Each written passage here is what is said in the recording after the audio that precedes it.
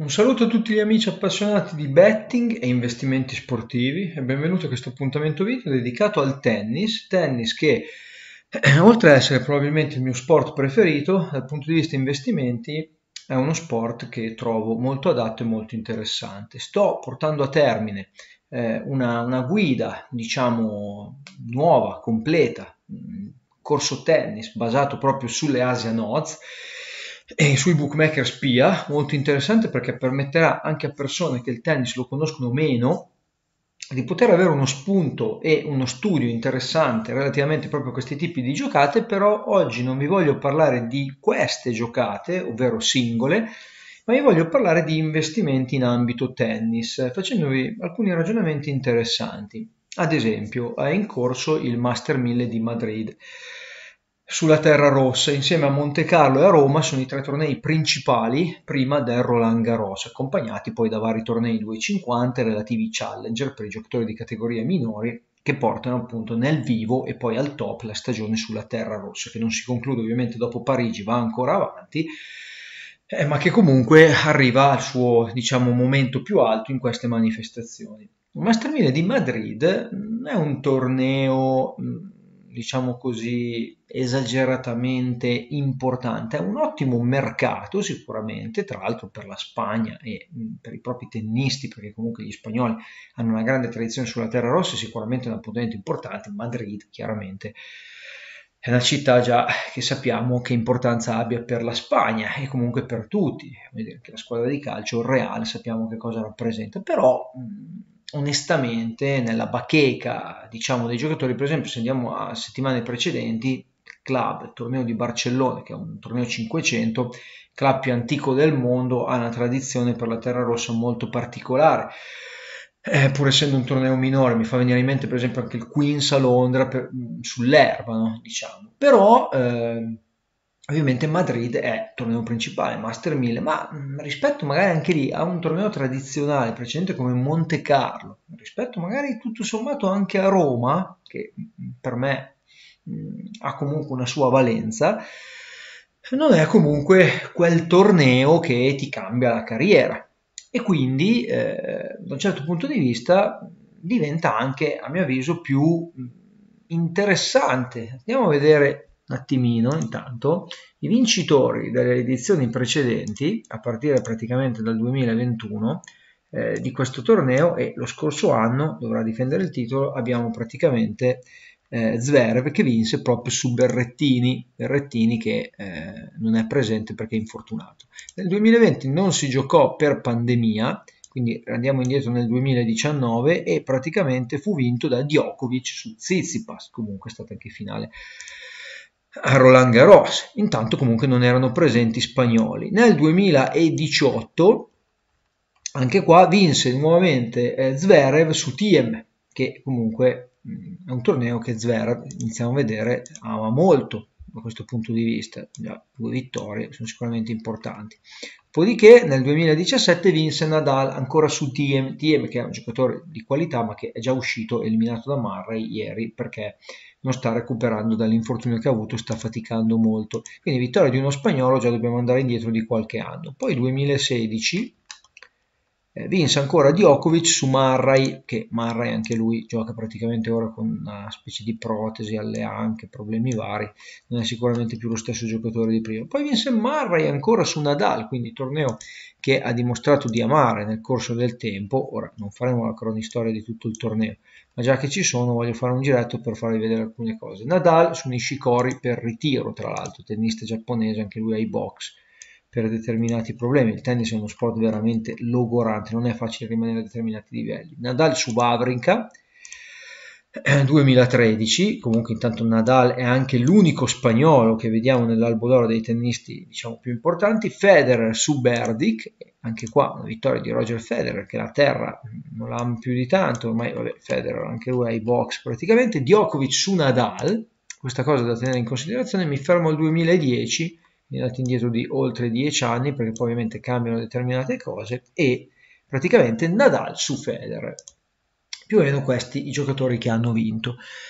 Eh, il tabellone attuale, alla luce di quello che abbiamo detto, è un tabellone che vede quasi tutti i migliori presenti. Djokovic è la testa di serie numero uno, dopodiché mh, sulla sua strada potrebbe incontrare a breve, ad esempio, un atleta che abbiamo visto vincere in questo torneo, Murray, o comunque amare questo torneo.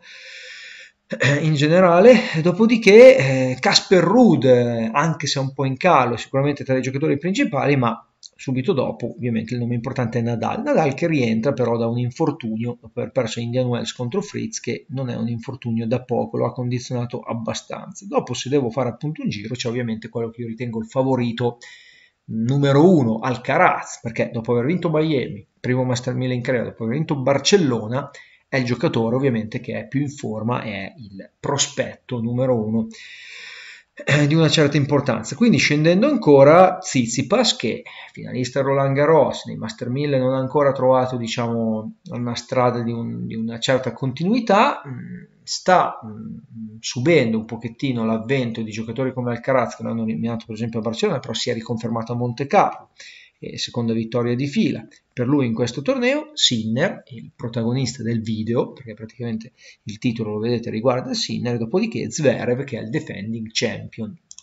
Quindi investimento, io dico Sinner potrà vincere un Master 1000. Eh, parlando di Sinner, chiaramente, e il video riguarda appunto lui, è un po' difficile parlare di questo ragazzo perché da una parte in Italia si tende a pompare i giocatori, mettergli addosso una pressione subito, secondo me, più grande di quel che sembra, anche se poi gli osservatori lo accreditano di essere veramente un talento importante. Però l'Italia del tennis è molto indietro. L'ultimo a vincere un Master 1000 è stato Fognini, che poi non si è rivelato chissà che top giocatore a Monte Carlo, e dopodiché dobbiamo andare indietro ai tempi di Panatta e Pietrangeli. Sinner non è ancora riuscito a imporsi a livello di Master 1000 eh, nemmeno Berrettini ha ottenuto certo grossi risultati, ricordiamo la finale di Wimbledon, però comunque è un giocatore che è anche molto diverso da Sinner e ovviamente entrambi sono usciti fuori dai primi dieci. Ora Berrettini qui non è presente, quindi gli occhi sono tutti su di lui. Poi c'è un problema in Italia, con la mancata qualificazione ai mondiali, seconda volta di fila, si cerca un pochettino di andare a trovare alternative negli altri sport. Ultimamente il tennis ha dato belle soddisfazioni, anche perché eh, dopo le Olimpiadi, qualche successo a volte volley basket, c'è stato i tempi del Sei Nazioni del rugby, non si vinceva, adesso si perde sempre, non si vinceva ma si era protagonisti, insomma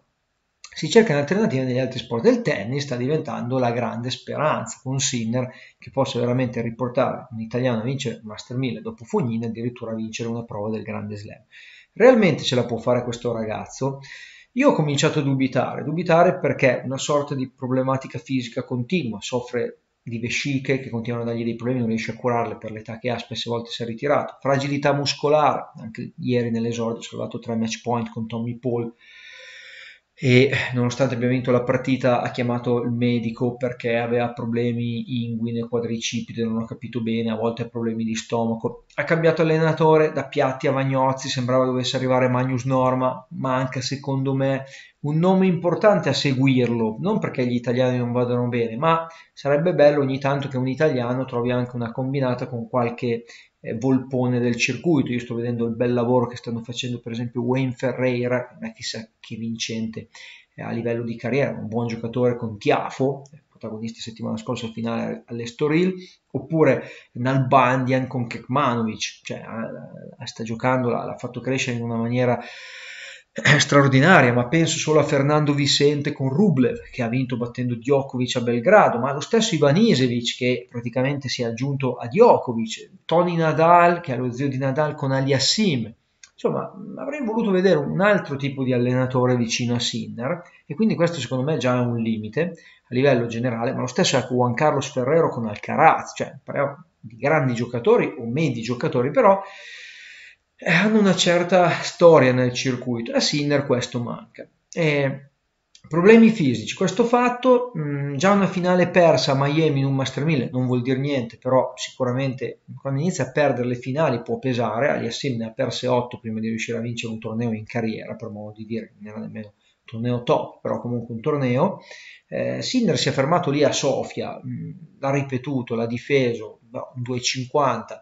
Comunque alla fine quando si tratta di giocare con avversari tra i primi dieci, insomma, vediamo Rune che viene accreditato come il nuovo fenomeno del tennis eh, danese, addirittura vuole già vincere Roland Garros, vuole eguagliare Nadal, vabbè, discorsi di un ragazzino, intanto prima finale, è vero che si è ritirato Van de Zandschulp a Monaco di Baviera, primo centro,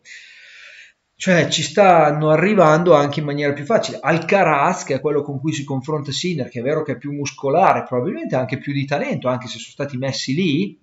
e intanto, insomma, vince Rio de Janeiro, vince Barcellona, vince soprattutto il primo Master 1000 a Miami, non è nemmeno sulla terra e quindi già viene visto come protagonista Roland Garros. Quindi, insomma, Sinner è un pochettino indietro, cioè i fenomeni, se sono fenomeni, vincono a quest'età. Certo non sono nemmeno come quelli che già gli sparano addosso di tutto, cioè delusione, eh, scarso, eccetera, eccetera. Sto oggettivamente cercando di capire quali sono le difficoltà di questo ragazzo, che caratterialmente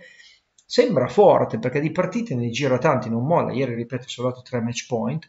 Caratterialmente forse ha qualche limite ancora nel magari eh, affrontare un pochettino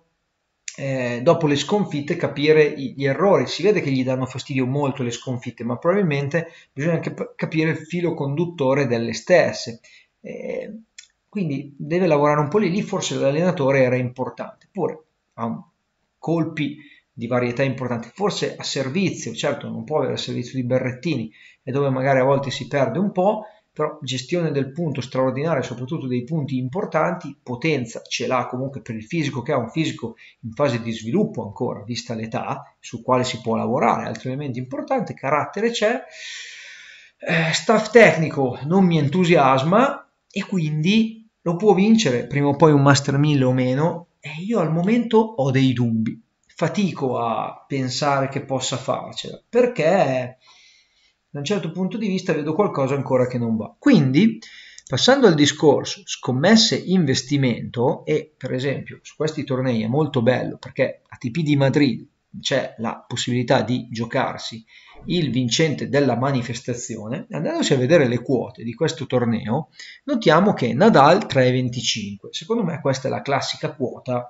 troppo bassa, troppo scontata. Nadal ha vinto il torneo, ci tiene, però è fermo. È vero che sembrava anche che all'Australian Open non potesse mai vincere e, vi- e poi ha vinto, però insomma la terra fisicamente è più difficile da reggere, soprattutto se arrivi da un infortunio. Quindi comunque Nadal 3,25 già, io personalmente magari lo vince, però se per modo di dire, il mio stake di giocata è 50-100 euro, mettiamo pure 100 sul vincente manifestazione come stake di giocata normale, 100 euro a 3,25 che è un ottimo rapporto rischio-rendimento 1 a 3, però su Nadal non lo spreco, piuttosto non gioco il torneo.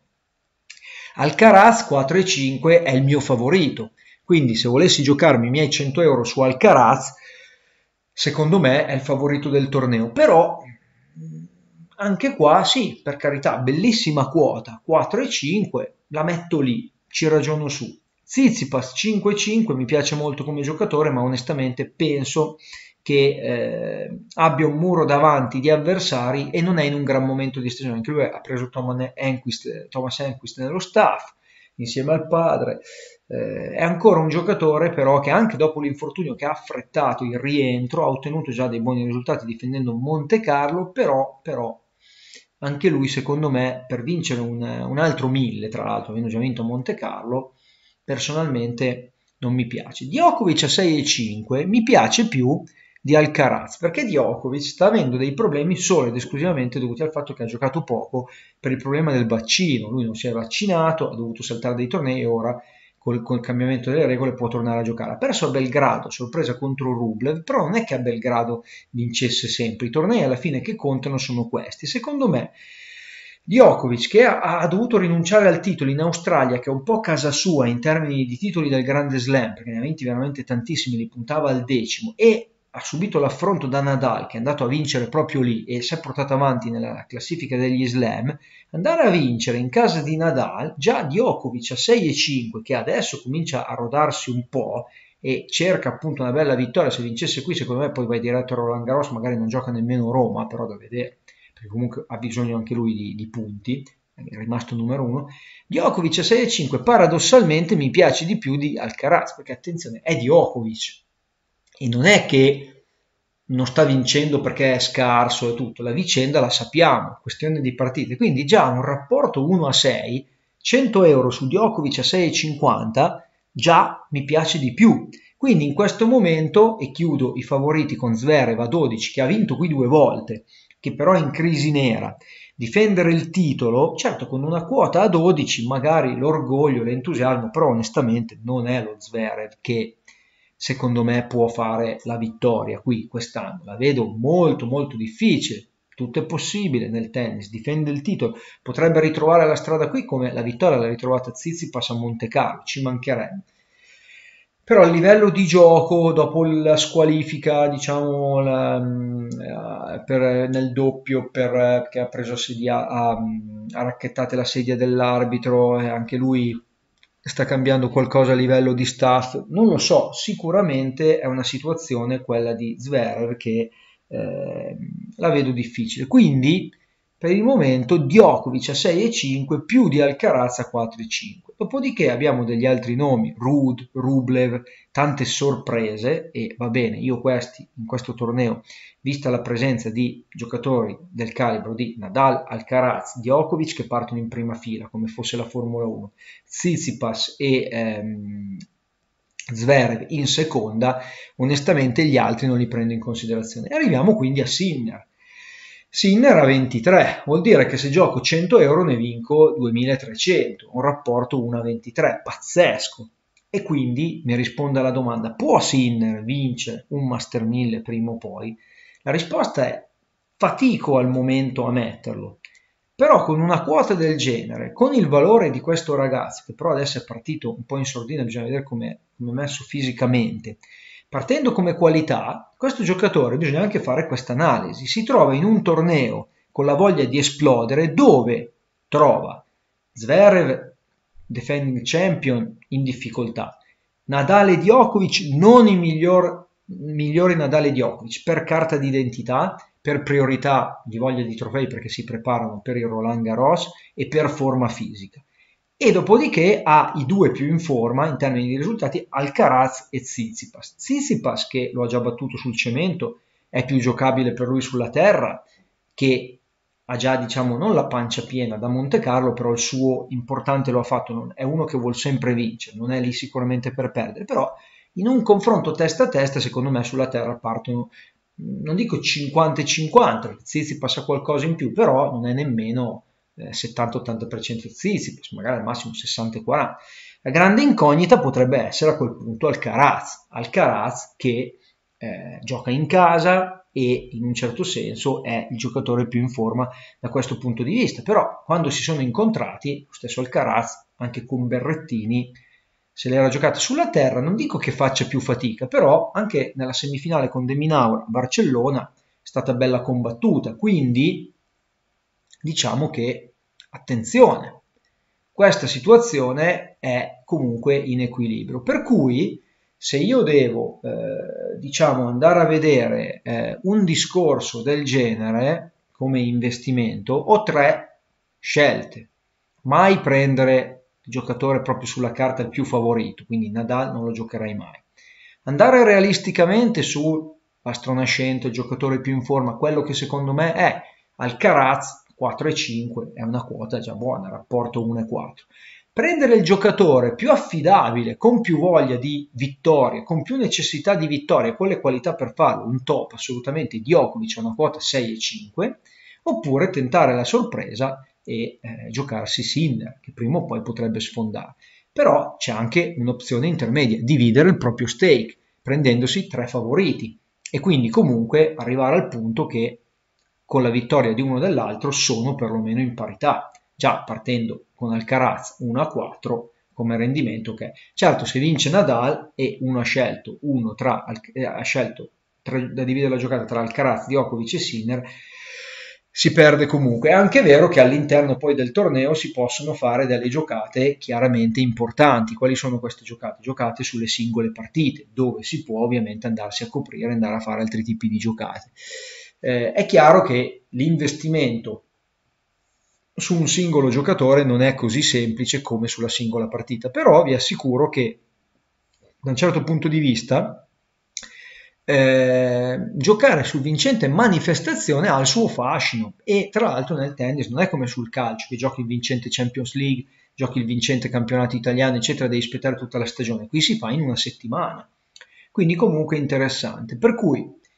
diciamo che per concludere e dare un'idea e quindi parlare di un investimento, se devo scegliere, io ovviamente mi gioco Alcaraz come vincente favorito del torneo, Djokovic come eh, realisticamente quello che potrebbe davvero uscire fuori. Quindi giocherei tra i due un bel Djokovic 6,50 se va male sono contento lo stesso. Ho messo come si dice i soldi in banca perdo li posso recuperare durante il torneo. Sinner a 23 certo la quota fa gola ma onestamente rispondendo alla domanda che faccio nel video, non lo vedo ancora pronto per poter vincere un torneo. Però, però ci può andare vicino. E secondo me giocarsi anche, per modo di dire, 10 euro a 23 in uno stake globale dedicato alla manifestazione su Sinner in ogni Master 1000 c'è da provarci perché prima o poi ci può arrivare. C'è qualcosina che non mi convince ancora, che purtroppo mi fa dire la vedo dura per lui vincere un Master 1000, però è un giocatore che veramente l'Italia ci deve credere, perché giocatori così non ne passavano da tempo da questo punto di vista. Poi capita in un momento dove i big, in questo momento Nadal e Djokovic in particolare, perché Federer, Murray per vari motivi non li metterei più tra i primi, sono comunque non tanto in calo, ma per vari motivi è un momento che sono giocabili, i risultati li abbiamo visti in un certo senso e la terra è molto dura per chi ha una certa età e determinati problemi. Certo che lui si trova già a combattere con giocatori in ascesa del livello di Alcaraz che gli è sicuramente in questo momento superiore. Anche altri rodati come Zizipas e Zverev che l'ho battuto di recente, anzi entrambi l'hanno battuto di recente, sul cemento però sulla terra sono giocabili entrambi che comunque hanno già ottenuto dei risultati importanti, quindi se non riesce a mettersi alla pari, chiaramente poi rimane indietro a livello generale. Quindi è necessario comunque per Sinner cercare di centrare una vittoria importante nel breve termine, altrimenti rischia sicuramente di andare eh, giù proprio anche a livello morale e poi non dico che capiti un'involuzione, però ecco come è difficile gestire la pressione in alto, anche quando ne hai addosso non ottieni risultati, non è facile, perché da Sinner non ci si aspettano i piazzamenti, da Sinner ci si aspettano le vittorie. Queste vittorie a livello di tornei importanti stanno completamente mancando. Comunque staremo a vedere. Nome finale per la vittoria del torneo, io butto lì Djokovic, Alcaraz,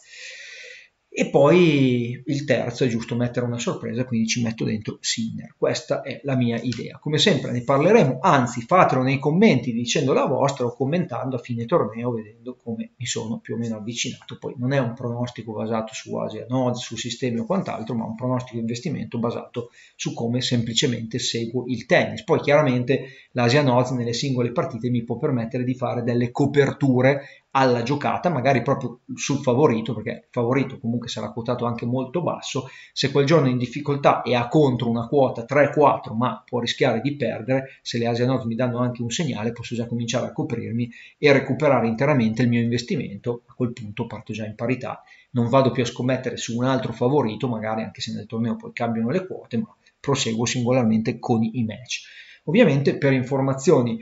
sulla guida tennis mi farebbe piacere sapere a quanti interessa. Quindi magari nei commenti fatemi sapere se è un tipo di guida con le Asianote con i bookmaker spia che vi piace e comunque sarà un progetto che uscirà veramente dal mio punto di vista come sempre di alta qualità senza concorrenza sul mercato e a un prezzo eh, molto molto appetibile a tutti perché so benissimo che il tennis non è lo sport principale, quindi magari molti o si avvicinano adesso o lo seguono, ma magari non hanno attitudine abitudine a giocarci. In realtà vi assicuro che è veramente molto molto interessante, soprattutto quando poi nel calcio, eh, non dico che ci si stufi, però qualcuno ha già fatto vedere il cambio delle manifestazioni, adesso finiscono i tornei principali, magari a qualcuno non piace passare ai tornei eh, Scandinavia, Sud America, Asia, eccetera, eccetera, e quindi magari nella pausa del calcio cosiddetto che conta e magari passa a un altro sport. Molti per esempio mi hanno anche nominato il basket,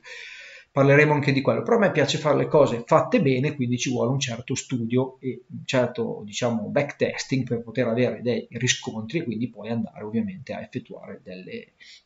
impostazioni di giocate, quindi scrivere poi e fare dei video relativamente proprio ai metodi, perché altrimenti siamo sempre lì, non si possono fare le cose a metà aspetto i vostri commenti, ovviamente un like al video se vi è piaciuto, iscrivetevi o abbonatevi al canale a seconda dei vostri interessi. Io vi ringrazio, l'appuntamento è ai prossimi video. Ciao a tutti!